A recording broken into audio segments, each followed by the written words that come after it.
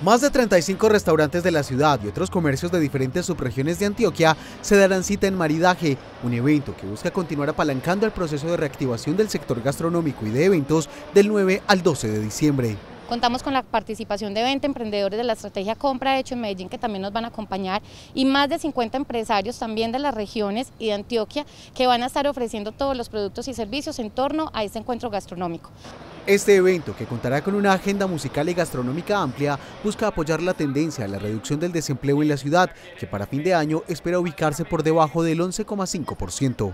Estamos esperando más de 1.200 empleos directos e indirectos que se generan por toda la derrama económica que se reactiva en estos momentos y estamos esperando más de 1.200 millones de pesos en ventas del sector gastronómico.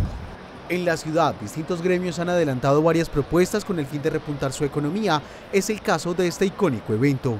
Es la mejor excusa para que sigamos reactivando la economía, para que sigamos apoyando el sector gastronómico, para que juntos sigamos transformando este sector que es tan importante para la ciudad.